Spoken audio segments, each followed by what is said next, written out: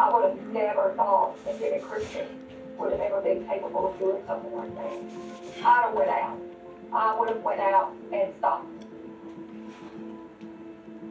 Letha asked investigators if she can write a note to her son Cameron to be honest with investigators, tell him everything he knows about what happened pertaining to the murders of Nathan and Crystal.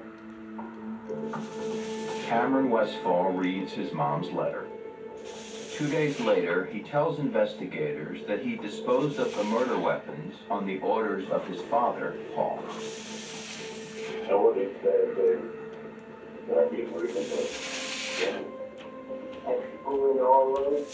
and that that that he was not there.